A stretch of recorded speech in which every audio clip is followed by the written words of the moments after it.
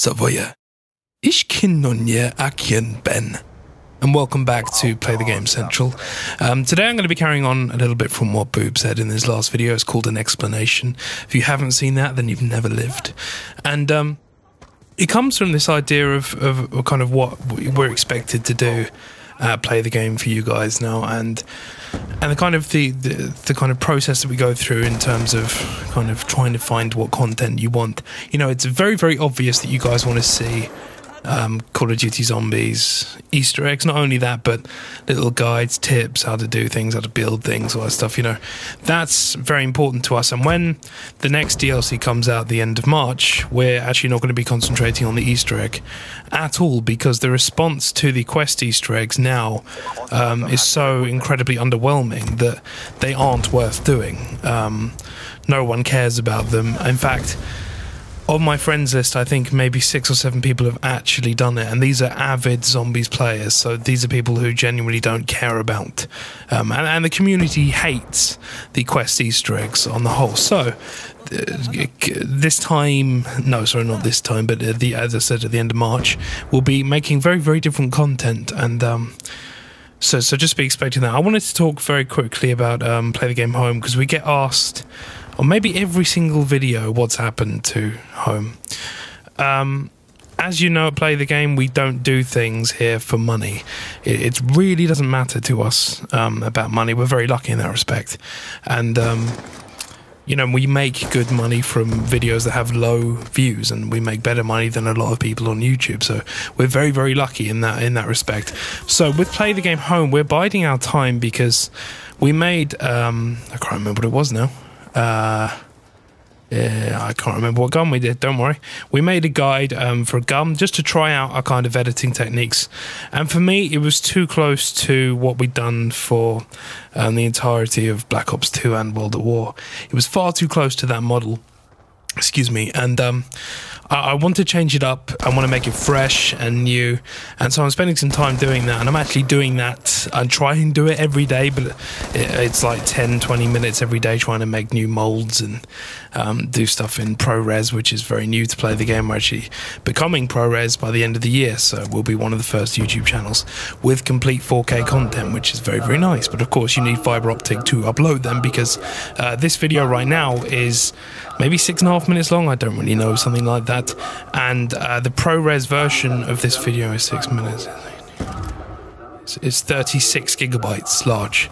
That's big for a six minute video, so just bear that in mind. That's you know, but at your end it won't be that uh, it won't be that big because actually uh, YouTube will reload it as a Flash file, which is pretty cool. So you'll be actually able to watch a 4K video in Flash.flv format, which is quite nice.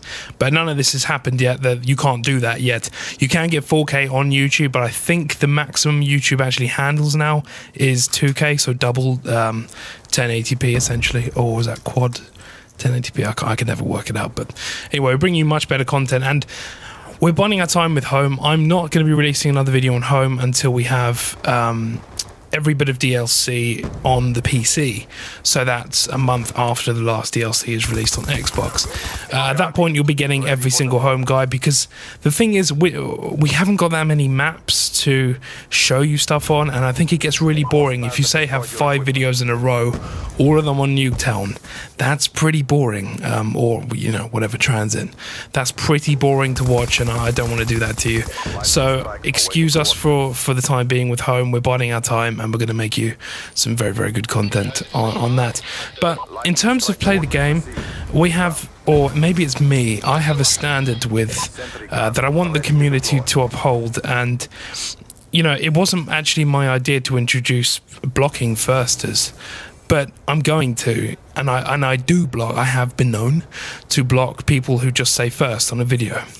It's meaningless. It means nothing. You know, we spend a lot of time making these videos, and the only fucking thing you can comment is first. Then no, I'm blocking you. It's absolutely useless. You don't know how much work it is to do something like this, and I don't. I don't think it sounds really vain, but you don't give play the game enough slack. You don't give any YouTuber enough slack. It's a lot of work, and you know, uh, hopefully we're, we're, we're doing well.